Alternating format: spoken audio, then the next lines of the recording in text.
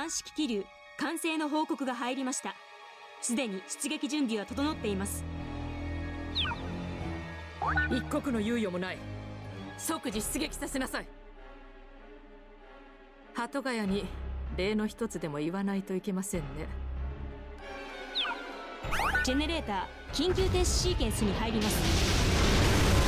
停止完了までにかかる時間は180秒。三式気流第1部隊攻撃を開始してください。三式気流30秒後に到達します。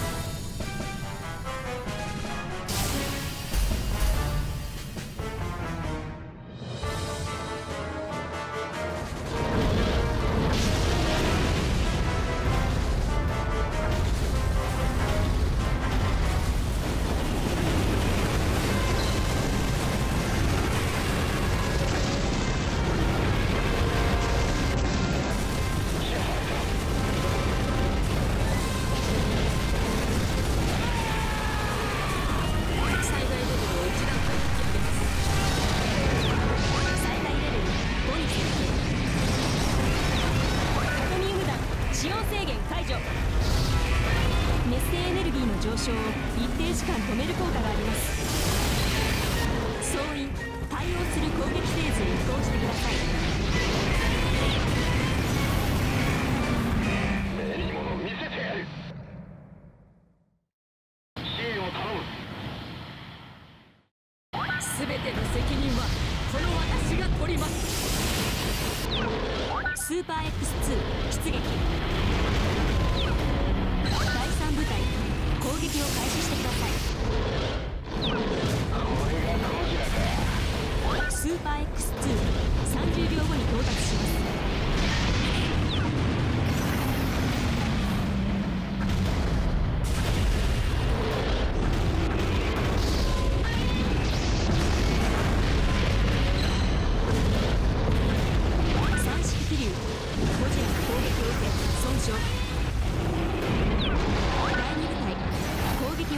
してください。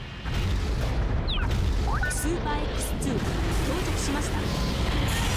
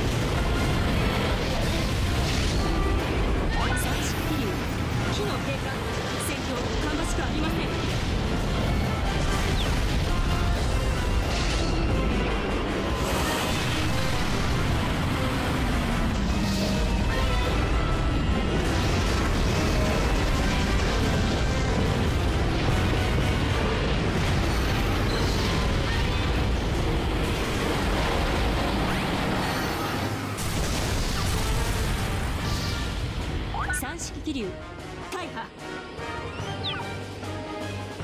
ゴジラはなおも健在。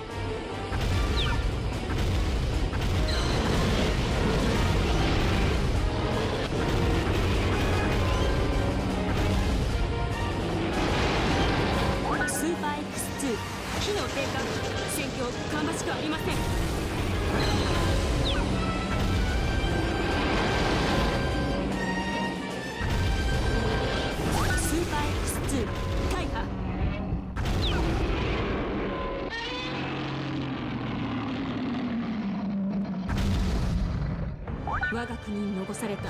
最後のジェネレーターが破壊されました。我々人類の文明が60年後退した瞬間ね。地球からすればゴジラによって浄化された瞬間かもしれませんね。耳の痛いこと。をゴジラもこれ以上の G エナジーを感じ取れないのでしょうか。海を目指し移動を開始しています人類が同じ過ちを繰り返すその日まで何年でも眠り続けるというの？もう起こしたくはないものです。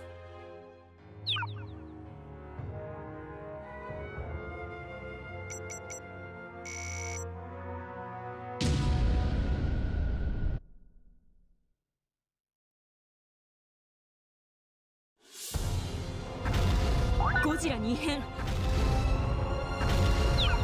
何があったの？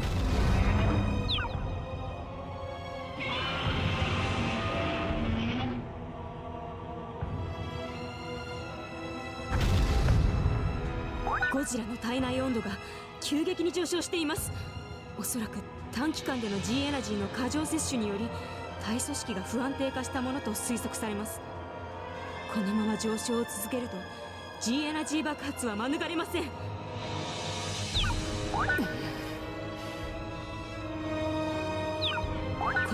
発は大気圏まで影響を及ぼし地球規模の大災害を引き起こします。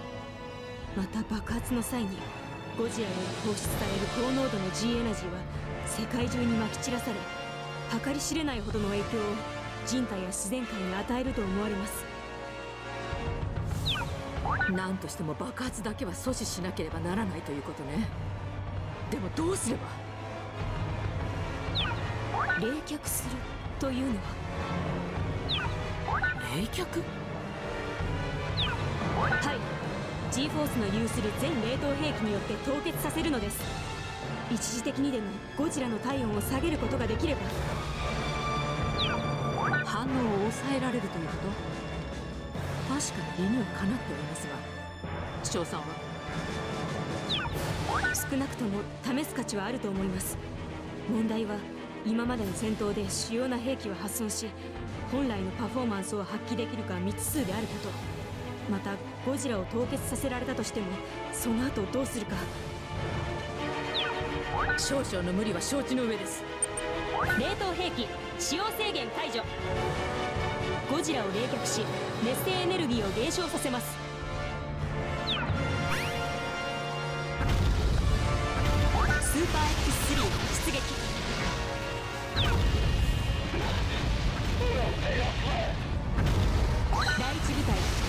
撃を開始してください。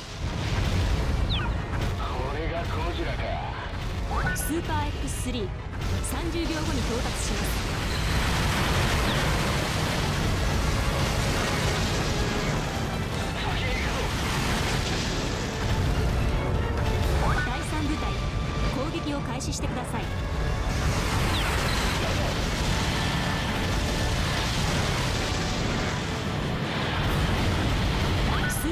3到着しました。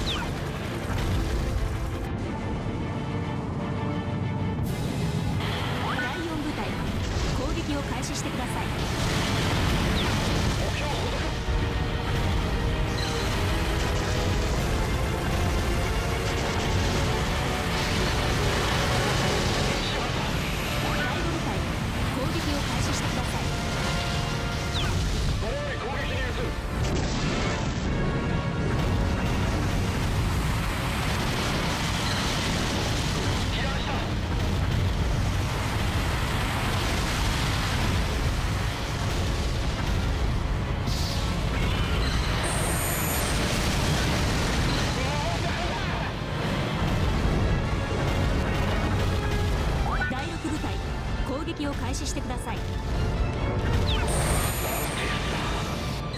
ーパー X3 ゴジラの攻撃を受け損傷。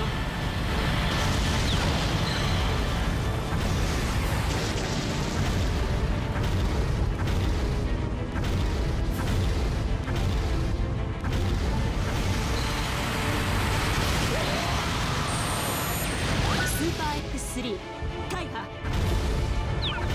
緊急通信。んな時に？今度は何？別の怪獣の反応です。ゴジラへとまっすぐ向かっています。人類にどこまで食材を求めるというの？第7部隊攻撃を開始してください。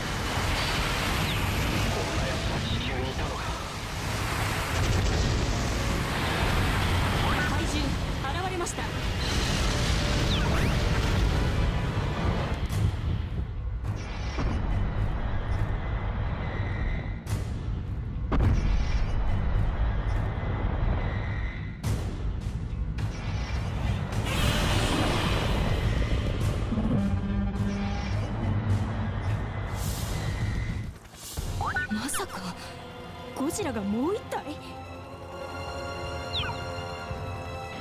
第9部隊攻撃を開始してください。任せてくれ